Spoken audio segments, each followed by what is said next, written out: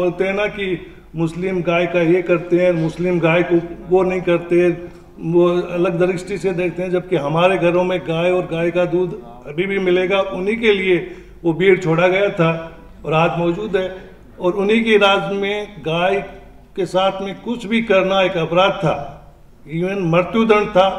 तो वो कैसे कह सकते हैं कि हम लोग शुरू से ही आतंक आतंकवादी थे, आतंककारी बम फोड़े ब्राह्मणवादियों ने, सूली चढ़े कोई और, करे कोई और, भरे कोई। मैं संदेश सिर्फ़ इतना ही देना चाहूँगा कि मुसलमान कहीं भी रहे, कहीं भी, चाहे कहीं भी, पहले वो, चाहे वो सनातनी थे कि क्षत्रिय थे, वो बाद में अपना मान लिया है लेकिन वो अभी तक अपना धर्म नहीं छोड़े हैं, जो कि समता, समानता बंधुता कि खत्म एक दिन रंजगम का सिलसिला होगा ज़रूर और अपने हक में भी कभी तो फैसला होगा ज़रूर। कुछ परिंदे उड़ रहे हैं आंधियों के सामने। उनमें ताकत ना सही, पर हौसला होगा ज़रूर। और इस तरह से गर नदी बहती रही तो देखना, तय समंदर तक का एक दिन फासला होगा ज़रूर। यही जो है S C S T O B C ये मुख्तलिफ़ नदियाँ हैं, ये बहती रही तो ज़रूर ज़रूर हम अपनी मंजिल को हासिल कर पाएँगे, व्यवस्था परिवर्तन कर ब्राह्मणियत की तारीफ़ ब्राह्मणवाद का इतिहास। हिंदी में कुछ किताबें मैंने लिखी हैं। उसमें से एक का अभी नाम लिया है कि संविधान की प्रस्तावना ब्राह्मणवाद विरोधी क्रांति का घोषणा पत्र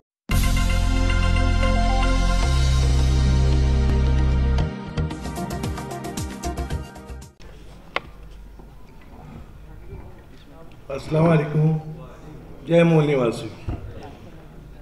मंच पे बैठे हुए सारे आदरणीय महानुभाव आज की अध्यक्षता करते हुए माननीय वामन मेश्राम साहब और आर एम एम के राष्ट्रीय अध्यक्ष चाँद मोहम्मद साहब और दीगर हजरात और देश के कोने कोने से आए हुए सभी मूल निवासी भाइयों, सभी को जय मूल निवासी।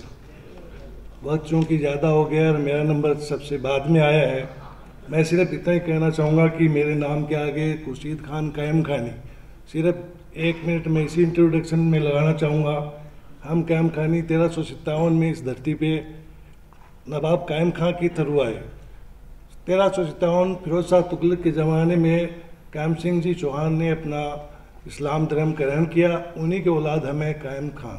कायम खां के औलाद हो गए कायम खानी।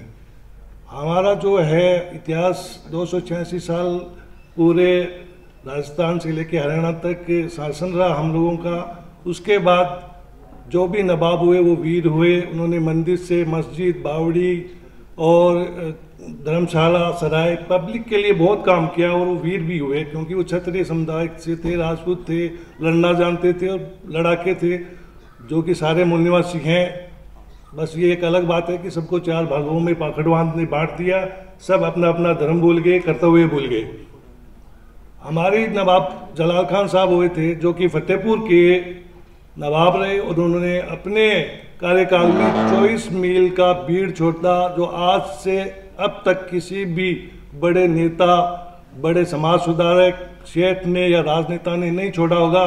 वो भीड़ आज भी मौजूद है और उस, उन्हीं के वक्त जो लोग बोलते हैं ना कि मुस्लिम गाय का ये करते हैं, मुस्लिम गाय को वो नहीं करते, वो अलग दृष्टि से देखते हैं, जबकि हमारे घरों में गाय और गाय का दूध अभी भी मिलेगा। उन्हीं के लिए वो भीड़ छोड़ा गया था और आज मौजूद है और उन्हीं की राज में गाय के साथ में कुछ भी करना एक अपराध था। इवन मृत्युदंड था। तो वो कैसे कह सकते हैं कि हम लोग शुरू से ही आतंक, आतंकवादी थे, आतंककारी थे, हमारा जो विचार ही अलग है। अब चूँकि आज विषय तो इन्होंने मुझे दिया था, दो नंबर, पॉइंट नंबर दो बम फोड़े ब्राह्मणवादियों ने, सूली चढ़े कोई और, करे कोई और, भरे कोई।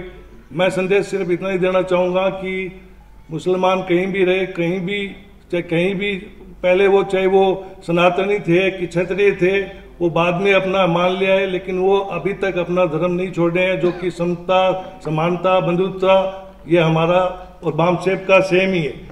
तो मैं वामन वैश्राम साहब से वादा करता हूँ और आर के अध्यक्ष चांदो साहब से वादा करता हूँ। जहाँ भी क्षत्रिय मूल्यवासी महासंघ, हम क्षत्रियों की ज़रूरत पड़ेगी। हम हम आपके साथ हैं, कंधा से कंधा मिला के। देश में कहीं भी कुछ भी, कोई भी प्रोग्राम हो, कोई भी आपका आयोजन हो, चाहे राजस्थान हो या पूरा भारत हो, हम आपको वहाँ खड़े मिलेंगे।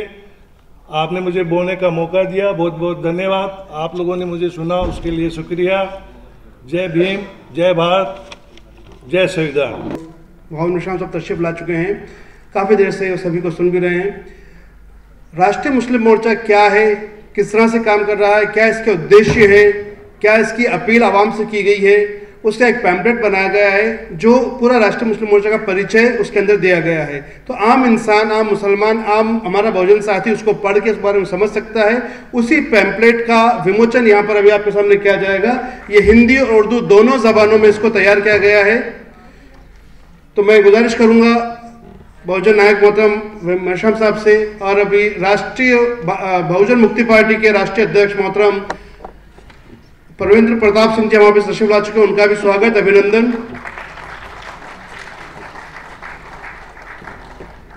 वो कहता है कि अगर इस तरह से S C S T OBC मिलकर जुड़ के काम करते रहे तो हमारी जो तकालीफ दूर हो सकती हैं कि ख़त्म एक दिन रंज गम का सिलसिला होगा ज़रूर, और अपने हक में भी कभी तो फैसला होगा ज़रूर।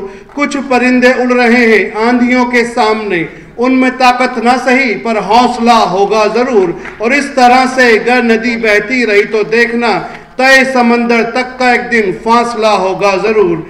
यही जो है S C S T O B C ये मुख्तलिफ़ नदियाँ हैं, ये बहती रहीं तो ज़रूर ज़रूर हम अपनी मंजिल को हासिल कर पाएँगे, व्यवस्था परिवर्तन कर पाएँगे, और जो हमारा उद्देश्य बामसब का उद्देश्य, भारत मुक्ति मोर्चा का उद्देश्य, उस उद्देश्य को पूरा करने में हम कोई कसर बाकी नहीं रखेंगे, यही ऐलान, यही अज़्म है। चौथी है, भारतीय समाज का तबकाती निज़ाम। इसमें मैंने पूरे वन व्यवस्था को समझाने की कोशिश की है। और पांचवी किताब है, समाजी इंसाफ की आइडियोलॉजी बनाम हिंदुत्व की आइडियोलॉजी तो इसमें मैंने ये बताने की कोशिश की कि हिंदुत्व की जो आइडियोलॉजी है, उसका मुकाबला हम जो कर सकते हैं, वो सोशल जस्टिस की आइडियोलॉजी से कर सकते हैं, जिसके लिए वाम सेफ़ और राष्ट्रीय मुस्लिम मोर्चा काम कर रहा है। एक और किताब उर्दू में है, जो पब्लिश हुई थी और वो ख़त्म हो गई। ब्राह्मणियत की तारीख, ब्राह्मणवाद का इतिहास। हिंदी में कुछ किताबें मैंने लिखी हैं। उसमें से एक का अभी नाम लिया है कि संविधान की प्रस्तावना ब्रह्मणवाद विरोधी क्रांति का घोषणा पत्र तो ये किताब तकरीबन 50 पेजेस पर है। इसमें मैंने ये किया है कि जो प्रियम्बल है, दस्तूर का कॉन्स्टिट्यूशन का, उस कॉन्स्टिट्यूशन कॉन्स्टिट्यूशन को बाबा साहब की तकरीरों और बाबा साहब की स्पीचेस और बाबा साहब के जो लेख हैं, उनकी रोशनी में मैंने उसको समझाने की कोशिश की है कि किस तरह ये प्रियम्बल एक घोषणा पत्र है, एक संकल्प पत्र है ब्राह्मणवादी ब्राह्मणवाद विरोधी क्रांति के लिए। और चार पुस्तकें और हैं हिंदी में जिसमें से कुछ वहाँ पर रखी हुई हैं। उसमें जो है उनके नाम अभी मेरे जहन में नहीं आ रहे। हाँ एक है मजलूमों की एकता। मजलूमों की एकता है। और सब वैकल्पिक, उनको आप हिंदू कहते हो। तो इससे साढ़े तीन परसेंट ब्राह्मण अल्पसंख्याक रहता है या बहुसंख्यक हो जाता है? साढ़े तीन परसेंट ब्राह्मण बहुसंख्यक हो जाता है। अगर साढ़े तीन परसेंट ब्राह्मण को साढ़े तीन परसेंट बनाने का काम कर लो और उन्हें ऐसा करने का, वो साढ़े तीन परसेंट है, वो कोशिश कर रहा है S C S T OBC को हिंदू बनाकर बहुसंख्य बनाने की। मुसलमान पहले ही हिंदू बनाकर रख दिया है।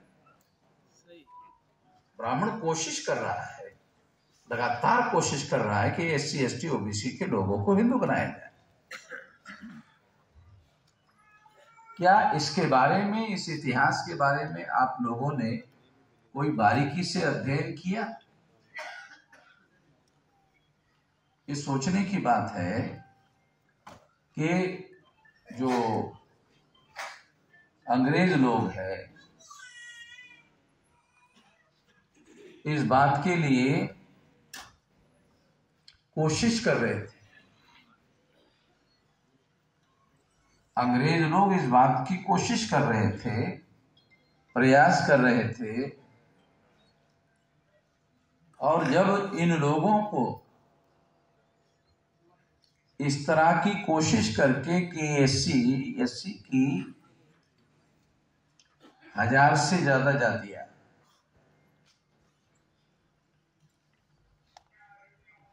और ओबीसी की तीन हज़ार सात सौ तैतालीस जातियाँ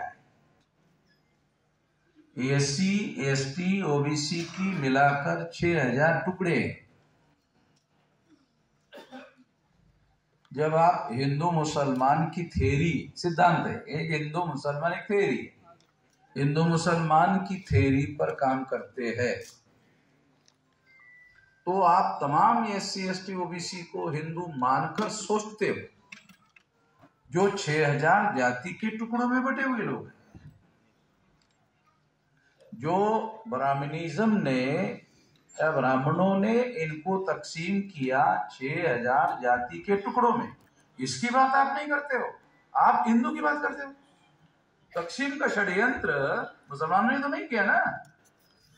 हमारे जाल साहब यहाँ पे सामने बैठे हुए हैं। उनको क्या कंसर्न में मुसलमानों के मसले से? तुम्हारा मसला तुम हल कर लो। लेकिन बाप साहब की सोच, ये फ़िक्र जाल साहब को यहाँ पर लेके आती है। राष्ट्रीय मुस्लिम मोर्चा काम के लिए काम करने के लिए फंड जमा करते हैं, ऑर्गेनाइज करते हैं। और इस तरह से जो समाज को जो तोड़ने की जो बात हो रही है हम जोड़ने की बात कर रहे हैं और लोग भी जुड़ रहे हैं तो अगर सिर्फ़ अगर हम राष्ट्रीय मुस्लिम मोर्चा का अगर प्रोग्राम होता, सिर्फ़ मुसलमान ही होते तो फिर ये कोई बड़ी बात नहीं थी। लेकिन राष्ट्रीय मुस्लिम मोर्चा और बामसेब की ये सोच है कि उन्होंने S C, S T, O B C, जिस तरह से क्षत्रिय समाज के हैं, हमारे दासुराम नायक साहब एस टी समाज से हैं, उनको मुसलमानों से क्या ताल्लुक होना चाहिए?